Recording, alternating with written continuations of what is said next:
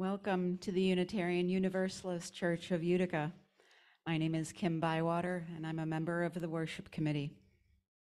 Here in this place, all are welcome. All means all.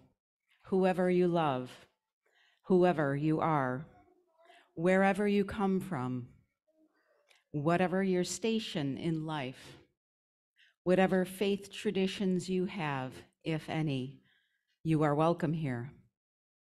With reverence, we recognize that we are standing on the ancestral ground of the Haudenosaunee people. It is with gratitude that we gather together in this welcoming space. If you are visiting us today for the first time, either in person or online, we are glad you have joined us. We would love to learn more about you and connect you with your with our newsletter if you like.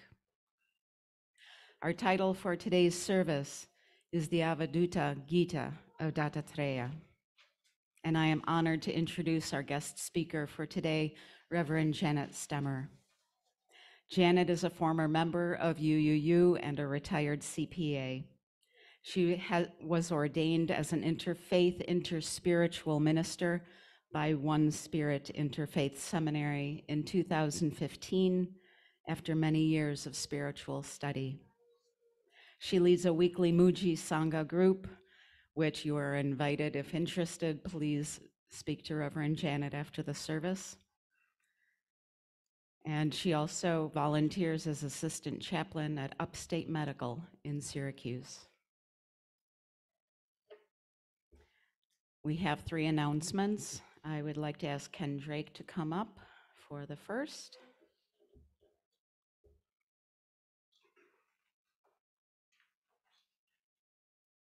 Good morning. I coordinate the Social Justice Council here at uh, UU Utica. I have two announcements. First, I will be available after service this morning to talk with anyone who might be interested in joining an expository writing group. Secondly, please notice the bulletin board of social justice initiatives in the main hallway across from the restrooms. Special thanks to Jocelyn Eastman, our church office secretary, for her help in putting this board together. Thank you.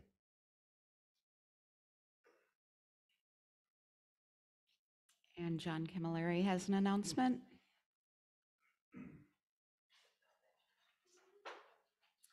Good morning. Uh, I'm, I'm the uh, coordinator of Soul Matters Small Group Ministry. We have groups starting um, next month, April through June. Uh, We meet, we meet once a month, um, and we have uh, spots available on the second Sunday um, of the month, which we will meet in the church after service. We also have spots open in our Zoom group, which is the second Thursday of the month. There's a brief article in the newsletter with links to more information. Uh, My email is on there. Feel free to contact me, or you can see me at- after the service. Thank you.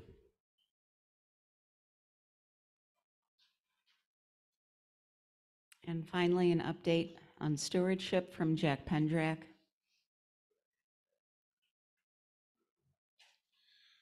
Hi, everyone. Um, I'm happy to say that uh, the stewardship drive is doing very well so far. We are, as of this morning, a little over $70,000 um, with uh, approximately uh, 38 or 39 people um, pledging. So we still have, you know, another 30 or so um, pledges out there. So we have a very good chance of uh, uh, reaching or at least coming very close to our goal of $94,000. So thank you, everyone. If someone hasn't pledged, you can see me or, you know, do a pledge card uh, during the service if you want. Or there's links in the uh, newsletter um, which you can click on and do a pledge electronically. Um, But in any case, um, thank you very much. I'd also like to point out that our, our committee, uh, mostly uh, uh, with Barb Freeman and also with uh, uh, a lot of help from, uh, from Jocelyn Eastman, our church secretary. Um, We've made a little pamphlet um, titled Pledging Matters that we're going to have um, in the sanctuary all year long so that people um, new to the church or if they have any questions about pledging um, uh, or stewardship, where the money goes, that sort of thing, it's going to be available. Uh, So, you know, feel free um, to pick one up if you're interested. Thank you.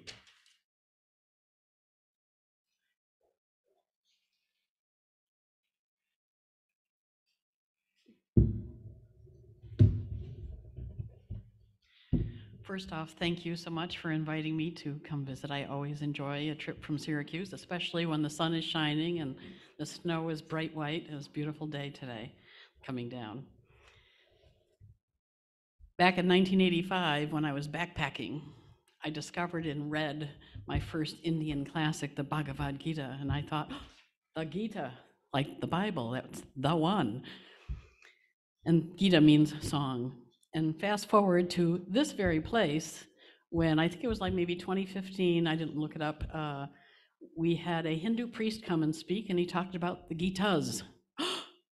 Gitas, there's more than one. And since then, I've had the opportunity to become more acquainted with them. Uh, I study with the teacher Mooji, and he reads from the Bhagavad Gita and the Ashtavakra Gita and the Avadhuta Gita.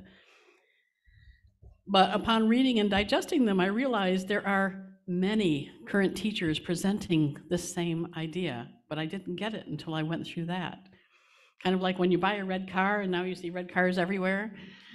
I go, oh, he's saying that same thing. He's saying the same thing. So today is not so much about the Gita, although it starts from there, but it talks about all the way, ways, all the people I hear saying these same things, these same ideas. That same realization spans the ages. This is, the Gitas are thousands of years old, written down maybe a thousand years ago, but, but certainly their origins are much long, much deeper.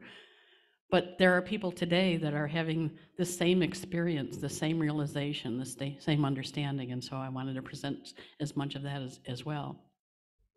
Starting, I'm going to start with Eckhart Tolle, with our chalice lighting. The chalice lighting says, this quote from Eckhart Tolle You are the universe, expressing itself as a human for a little while.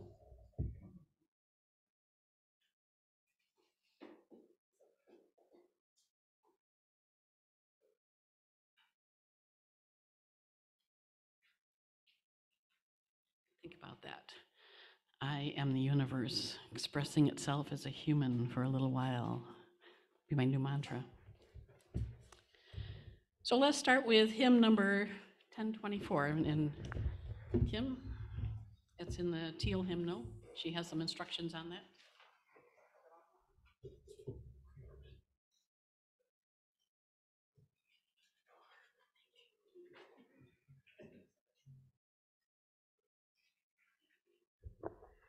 Okay, 1024. We are going to do the verses starting with the word do, and then sing, and then dance, and finally, we're going back to do. So four verses.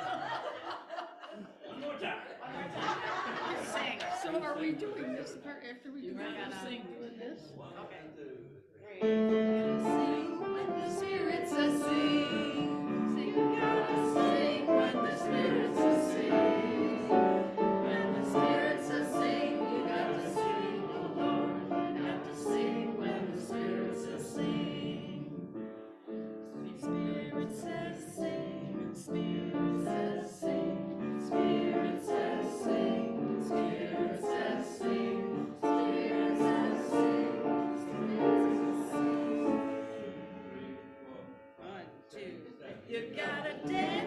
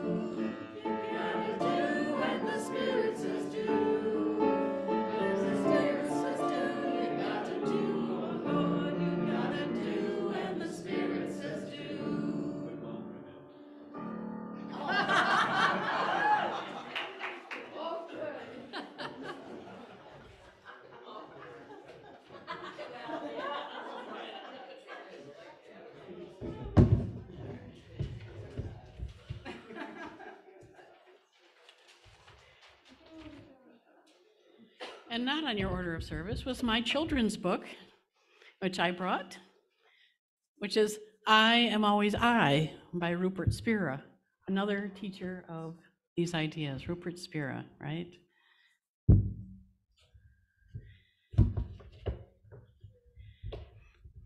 It says in the, in the introduction for Rupert Spira, he said he felt as a child that there was an untouchable peace in him, surrounded by things that change over time. My body changes, where I live changes, the weather changes, yet something, something in me remains the same. And you have a sense of that. I am. I am. Who told you I am? Do you know that you are? That there's something that exists here? The Avadhuta Gita is called the Song of the Free Soul, the liberated soul. And it describes what is seen from that perspective of the free soul. It is one of several scriptures that came out of India that expresses the understanding of non dualism, not two, but one. The Avadhut says, I am that pure, bodiless, unborn, imperishable, unchanging reality. A lot of words. I am that pure, bodiless, no body, unborn, imperishable, unchanging reality. What is unchanging in us? What can that mean? And that's the problem. The brain wants to know what is that? What is that? It wants a concept. It wants an explanation. It wants the encyclopedia on what does that mean? And the issue is, it is not a concept. It's not a belief. It's an experience. It's a presence. It's a knowing. Can somebody tell you you don't exist? It's an awareness. And it's not limited to a yogi who lived a thousand or more years ago. This is possible for each of us. And I think we are living in a time when it is more possible. Sometimes it seems, one of my teachers used to say, we're out here with fire hoses pouring it, and you're walking around these little teacups. Open up, let it in. And I see the door opening for many in the Mooji group that, you know, as you're spending time studying these ideas and becoming these ideas. The Avadhut says, How can I say that the unchanging reality is not this or not that, that is endless or has an end? I am boundless as space. You might think of the sky. Where is the beginning of the sky? Where is the end of the sky? Is it just out there? Is it in here? Is air in here or out there? Where is air? It's not out there, and yet it is out there and in here and everywhere. When you take away the layers, the labels, the concepts of who we think we are the woman, the daughter, the accountant, the chaplain, the sister, the friend, a happy person, a sad person, a person, a body. What's left? Can we find that unchanging reality? I am. How do you find what you already are? Byron Katie has a wonderful exercise, another one of who has, has this understanding, has an exercise that said, Who would you be without, you name it, this trauma, this identity, this sadness, this illness, things we identify with, which become the center of our life? Who would you be without this? Take all that away. Who is that? Can you disconnect from it? In Rupert Spira's book, the little girl says, I cannot be anything. I am always I.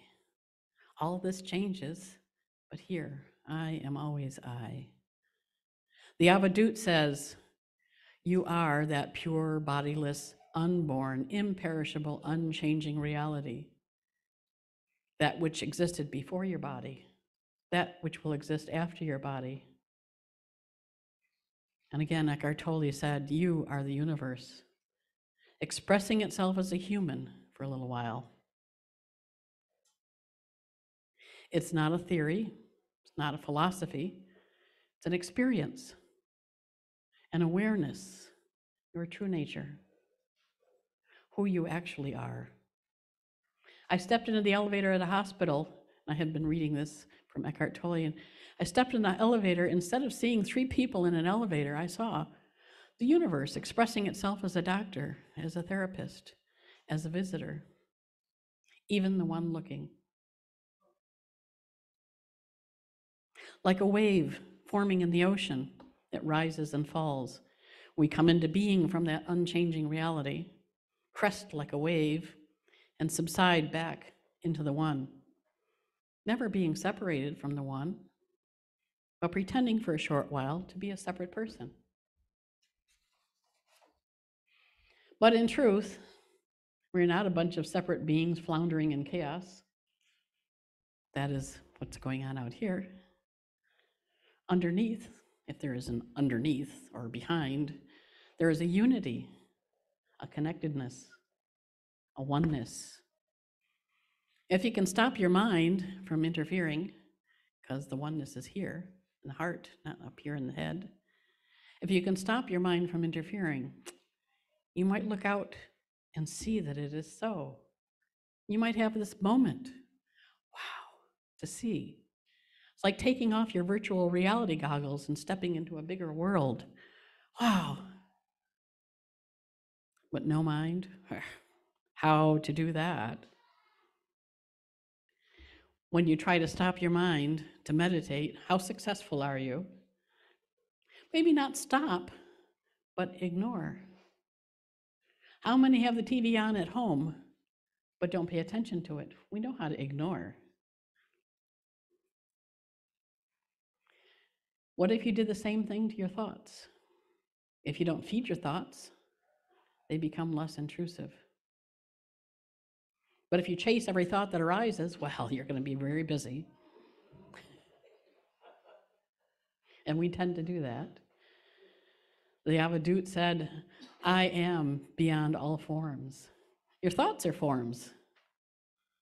Is beyond that, beyond the thoughts. The thoughts are just the goggles through which you see a separate world. And he's not just speaking for himself, he is speaking from that experience that we are capable of having. Eckhart Tolle speaks about when he had his first experience of that. He awoke in the night, he'd been very depressed. He was thinking, what was the point in continuing to live with this burden of misery? Why carry on with this continuous struggle? I could feel a deep longing for annihilation, he says, for non existence. It was now becoming much stronger than the desire to live. I cannot live with myself any longer. I cannot live with myself any longer. This was the thought that kept repeating. And suddenly said, I became aware of what a peculiar thought that is. I cannot live with myself any longer. Am I one or two? If I cannot live with myself, there must be two of me the I and the self that I cannot live with. Maybe, I thought, only one of them is real. I was so stunned by the strange realization, he writes, that my mind stopped. I was fully conscious and there were no more thoughts. He continues the, the intense pressure of suffering that night must have forced my consciousness to withdraw from its identification with the unhappy and deeply fearful self, which he says is ultimately a fiction of the mind. This withdrawal must have been so complete that this false suffering self immediately collapsed, just as if a plug had been pulled out of a toy. What was left then, he says, was my true nature as the ever present I am. Consciousness in its pure state prior to identification with form. How many have had an experience of unity? I think runners sometimes go into this sudden space. This feeling of unity, being in nature, being connected to everything suddenly. Walk into a McDonald's and everything is God. It can happen. It happened to me. You're kidding me, right? You know, God has a great sense of humor. really, my Hamburg, that old guy over there, that little girl over there, everything is God. Okay. And, it, you know, it doesn't go into words very well, these experiences. We find it too in the Christian world. This isn't just Hindu world or my weird world, or I love in the Christian world the words of Teresa of Avila. When she says Christ, which I see as her word for the imperishable being, Christ prays in me, works in me, looks through my eyes, speaks through my words, works through my hands, walks with my feet, and loves with my heart. She is no longer Teresa. There is only the imperishable being. She no longer identifies with labels of woman, daughter, Teresa. She has had that experience of all that falling away. I cannot be anything. I am the universe expressing itself as a human. What an extraordinary thing. The Avadhut says when Brahman, God, universe, spirit, whatever your word is, God in many names, when God is omnipresent, luminous, motionless, I do not see any diversity. How can it be inside or outside? Where is it? The mind says. Where is it? The ego wants it to be a thing it can study, can observe, can explain. But the Avadhut says it is not inside or outside. It's like asking, where is air, inside or outside? Beginning where, ending where? This unity exists in all of us, as all of us. And we exist in it like that drop in the ocean. But this overdeveloped mind is always looking outside for answers. Happiness is out there. Oh, yes, let's see. To help you remember, to help you remember, here we go. I'm looking out there. it's out there. It's out there. You can just feel the energy going out, out, out, out, out, right? You're to remember that? Create a moment for you. Happiness is out there. Purpose is out there. Love is out there. I had a friend, of friend uh, many years ago. We used to challenge each other on whether what we said was true. And he said, You know, you cannot say, I love you, because there's no I and there's no you. There's only love. But it's not out there, it's in here. Another sage from India, Nisargadatta Maharaj, said, When I look outside and see that I am everything, that is love. He's not talking about a belief of being everything, a concept of being everything, but a seeing that he is everythingness. He says, being afraid, being being the world, I am not afraid of the world. It's like this hand is not afraid of that hand. What am I to be afraid of? Water is not afraid of water, fire, a fire. It's attachment to a name and a shape that begins to breed fear. How do you even talk about such a seeing? In my life, there have been times when what was experienced could not be put into words, and I'm sure others, I know others have. But they always come back and point to this unity, this truth. And it really doesn't have any words. Maybe you can feel in your heart this is true, or maybe you remember a moment when you knew something you shouldn't know you knew. My sister did a diagnosis one time. She says, I don't know where that came from. We, we run deeper than we think. A Course in Miracles points to all this. I love lesson number three, it starts you right off. I do not understand anything I see. Good place to start. Just, then you get up to 95. I am one self united with my creator. Well, there's still a little two-ness there. Lesson 97 I am spirit. I am. But your mind will argue this can't be true. I can see my hand and things. It, wa- it's got, it must be this. To develop the seeing means sitting quietly, letting the dust settle. When the jar is shaken and it's all muddy, you can't see anything. And that's kind of how we tend to live. If we stop, be quiet. But the mind says, You got to go to the store, got to run the laundry. What's for dinner? No, not right now. I got to call my friend. Oh, feed the cat? I don't have time right now. Um, Thich Nhat Hanh says, um, meditate for 20 minutes, and if you don't have time, meditate for 40.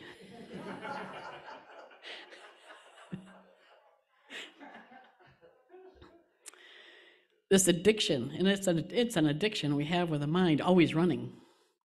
And our social media, our phones feed into what's next, what's next, what's going on in the world, da da da. It's like an alcoholic always looking for the next drink.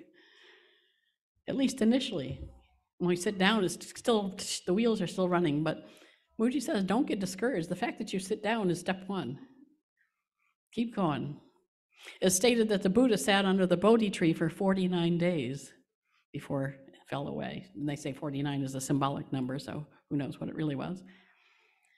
I couldn't find the story, but I think it was Papaji, Papaji when told by his teacher that if he sat in quiet, he would find the answer. And he went and did just that. He sat until it fell away. As mind quiets down through repetition, perseverance, sitting in quiet, ignoring thoughts, you learn to anchor in that deep silence. It doesn't mean spend your whole day in silence. Sometimes, sometimes that's not a bad idea. The mind has a role, but it's not supposed to be in charge. Adyashanti, another teacher who has dropped the person identity, says the only thing that covers up our true nature is our grasping, our aversion, and our belief in the mind. We're always running towards something, away from something. Byron Katie said, if you want real control, drop the illusion of control. Let life have you. It does anyway. The mind projects this belief of you controlling the environment. You got to keep that mind engaged to keep in control. We had eight inches of snow or 10 or whatever you had yesterday. Do you really think you're in control? Let life have you. Relax the running to and fro. You will find that when you are anchored in the silence, a path arises before you. You walk that path, and what is to be done unfolds. If we try to control, struggle arises. If there's fear, question what fear is trying to protect. Adyashanti s- again says, when you get out of the driver's seat, you find that life can drive itself, that actually life has always been driving itself. When you get out of the driver's seat, it can drive itself so much easier. It can flow in ways you never imagined. Life becomes almost magical. The illusion of the me is no longer in the way. Life begins to flow, and you never know where it will take you. Returning to the Avadhut, he says, I have never done anything. Because there's not an identity, a person that takes credit for what happens. And nothing happens in the unchanging reality. Papaji's book is titled, Nothing Ever Happened. I think there's three volumes of Nothing Ever Happened. Reminds me the, again, you know, I see it everywhere. Another red car, my, the Tao Te Ching. The Tao does nothing, yet leaves nothing undone. When there is silence, one finds the anchor within oneself. But then the mind says, yes, but who's going to fix, fix the world? We can't just sit around and do nothing. Well, this is not doing nothing. But if the surgeon starts operating before he learns his subject, where are we? Once the din of constant thoughts subsides, we become aware of what is ours to do, and then we do it. But if we just run around like hair on fire, how can that create peace? The Dalai Lama said, and I, this is such an amazing statement if every eight year old in the world is taught meditation, we will eliminate violence from the world in one generation. Because they're operating from here. If every eight year old in the world is taught meditation, we will eliminate violence from the world in one generation. It's that important. It changes your life. Consider beginning and ending your day in silence 15 minutes, 20 minutes, 40 minutes. Let it be your North Star, this. And gradually or suddenly, the clouds recede. I pray it may be so for all of you. Blessed be. Amen.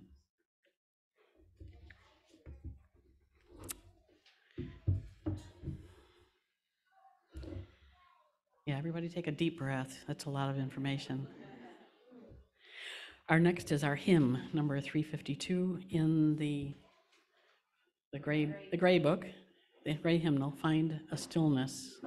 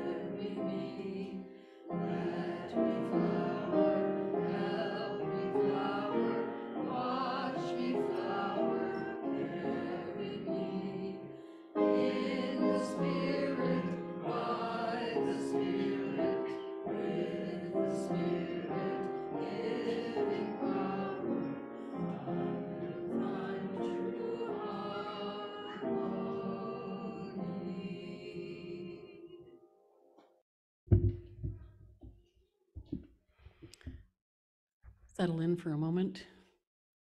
Rest in your chairs. Close your eyes. Just take a moment and send good thoughts to those who are struggling. But then let's take a step for a moment, for a few minutes. Let us drop all thoughts about the past. Let's stop our thinking, ignore our thinking. Leave aside the memories. Let your thoughts about what I'm going to do later today or tomorrow or whenever, let that drop away. Sink into your heart just for a few minutes. No one's going to miss you for a few minutes. You don't need all that planning right now. Just sink into some silence. Be empty. Just be in this present moment. No thinking who you are, why I'm doing this. Let it all slide away just for a few minutes. You can pick them up later. Don't be wondering about what's next. Drop it, drop it. Just let it slide away, all those thoughts. Don't be plugging into your body and your senses. Just leave them all alone.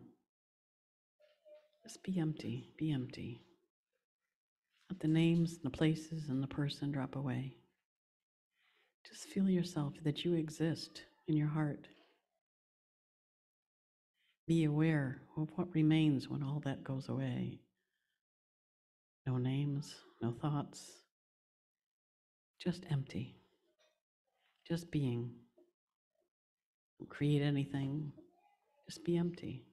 Just spend a moment here, a little vacation. Drop the thoughts, ignore the thoughts. In your heart. Your heart's not apart from you. You are that. Just be in your heart, resting, resting. It's not a belief, it's a knowing. I know that I am. Just rest in that for one moment. Take a breath. Just let it all go for a moment. It can be without you for one moment. Be quiet, be empty. Let it be.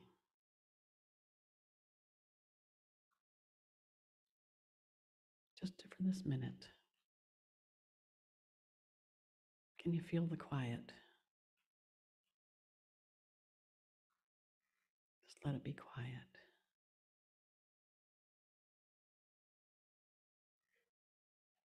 Okay, and then gradually open your eyes, move in your chair, come back to this room. You can continue to feel connected to that silence. It's always there. You can visit it anytime.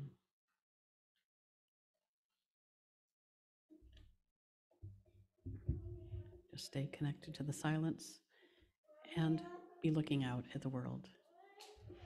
This is something you can do. Peace can be here.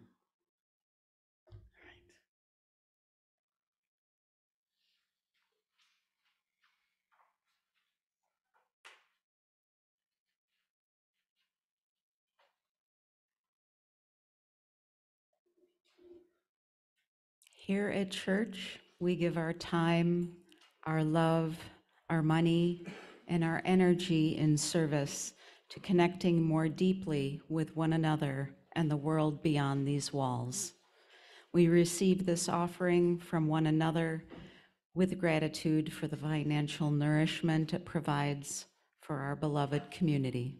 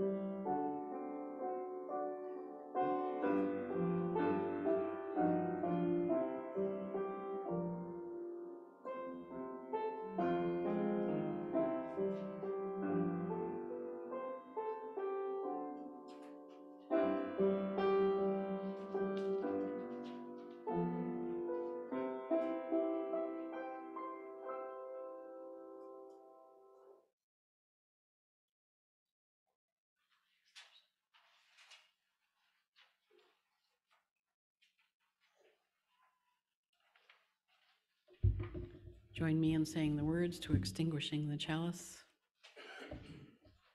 We extinguish this flame, but not the light of truth, the warmth of community, or the fire of commitment. These we carry in our hearts until we meet again.